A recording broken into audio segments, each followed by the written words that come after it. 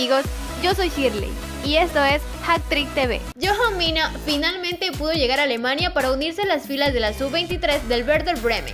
Según información de Sabio Manager, este jueves ya se podría ver al ecuatoriano de 18 años de edad con la camiseta de su nuevo club. Tras no poder ascender con el Brentford a la Premier League, el futuro de Joel Valencia podría estar lejos de su actual club. Medios polacos aseguran que el eje a Varsovia quiere al ecuatoriano por un préstamo de una temporada, y los rumores incrementaron debido a que el ecuatoriano viajó a Polonia en los últimos días. En la nota se cuenta que el club europeo ya tendría arreglado con el Brentford todos los detalles, pero que la próxima semana sería oficial. Recordemos que Joel Valencia firmó con el equipo inglés un contrato de 4 años.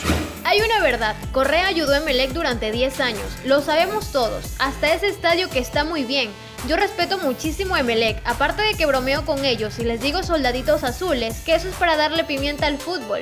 Al fútbol hay que darle pimienta para llenar los estadios como lo hemos hecho, dijo Isidro Romero Carbo, expresidente de Barcelona Sporting Club, en entrevista con Noti Deportes.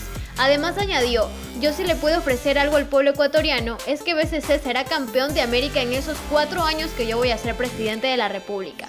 Es la verdad, vamos a hacer un esfuerzo. Felipe Caicedo es blanco de rumores que lo ponen fuera del Alacio y hoy se ha podido conocer que Felipao tiene una oferta de parte del Algarafa, equipo de Qatar, quienes le ofrecen un contrato millonario. Al delantero ecuatoriano le han planteado un contrato hasta el 2023 con una compensación económica de 6 millones de euros por temporada. El 30 de junio expiró el contrato que tenía Jefferson Montero con el Swansea City de la segunda división de Inglaterra, quedando el extremo de 30 años como jugador libre pues según el portal brasilero Wall, informó que Jefferson Montero fue ofrecido al Cruzeiro de Belo Horizonte, que hoy por hoy milita en la Serie B del Brasileirao, pero que las diferencias económicas habrían frenado las negociaciones.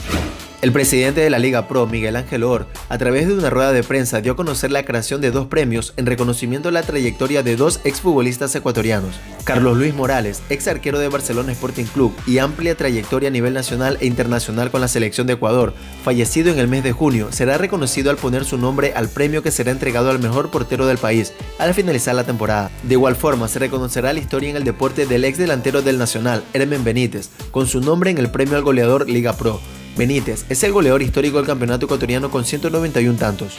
Luego de que los rumores de la prensa mexicana apuntara a que Guillermo Almada sería el preferido de los dirigentes de la afición ecuatoriana para dirigir a la selección nacional e incluso que este viernes próximo podrían llegar a un acuerdo que lo desvincule con los guerreros y lo una al seleccionado ecuatoriano, el estratego uruguayo dijo que eso no es verdad. No sé de dónde lo sacaron, pero no es verdad. Yo no hablé con nadie de la FEP, dijo Almada a colegas de Estudio Fútbol. Jorge Célico, técnico de la selección sub-20 de Ecuador, habló en rueda de prensa virtual donde se refirió a la posibilidad de dirigir a la selección de mayores. Célico expresó, no he tenido ninguna comunicación con absolutamente nadie de la FEC, y las comunicaciones que he tenido con dirigentes o personal de la federación ha sido referente a los microciclos y a la parte organizativa, que no ha sido nada fácil para este microciclo. Además enfatizó, hoy por hoy mi cabeza y mi cuerpo todo funciona en función de la selección sub-20, en tratar por todos los medios de hacer microciclos porque está complicado por los calendarios, y a ponerme cada fin de semana a ver los partidos del fútbol ecuatoriano de todas las categorías para encontrar elementos que puedan fortificar la selección sub-20. Harta Pelota, Antonio Pozo, directivo de la FEP, expresó que se aprobó un presupuesto para lo que resta del año y se fijó que para este día viernes se dejará finiquitado quién será el director técnico de la tricolor. Además comentó, para este viernes ya tendremos técnico apenas termina la reunión. Se dejaron nombres, la lista no es pequeña. Hay siete técnicos en la carpeta para asumir Ecuador. Revista Winner pudo conocer la lista definitiva de la cual se elegirá al nuevo director técnico de la selección nacional. Estos son los nombres. Guillermo Almada, Matías Almeida, Alex Darío Aguinaga, Jorge Célico, Juan Antonio Pixi, Pablo Repeto y Paul Vélez. Orlando City de Méndez cae en la final de la MLS. La final de la MLS East Black se disputó en Orlando este martes entre el Portland y el Orlando City. Tras un gran partido el resultado favoreció a los verdes y lastimosamente los Leones Morados no pudieron alzarse con el trofeo. El volante ecuatoriano Jackson Méndez fue titular y jugó hasta el minuto 71. En Brasil, Atlético Mineiro de Alan Franco le dio la vuelta a un partido que en el primer tiempo ya perdían 2 por 0 ante el Corinthians. El ecuatoriano jugó de titular pero solo estuvo en cancha los primeros 45 minutos. Mientras que el Bragantino empató a uno con el Botafogo, el defensa ecuatoriano Leo Realpe estuvo en la banca de suplentes pero no tuvo minutos. Y en México, el Querétaro de Jonathan Bentancur le ganó 1 por 0 al Cruz Azul. Bentancur vio todo el partido desde la banca de suplentes. Por otro lado, el ecuatoriano Jefferson Intriago jugó de titular los 90 minutos en la derrota de su equipo Juárez ante las Chivas de Guadalajara.